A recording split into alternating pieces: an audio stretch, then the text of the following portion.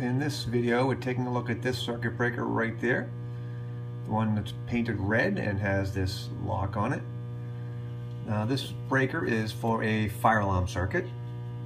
And it, because it's for a fire alarm circuit, it is required to be marked red.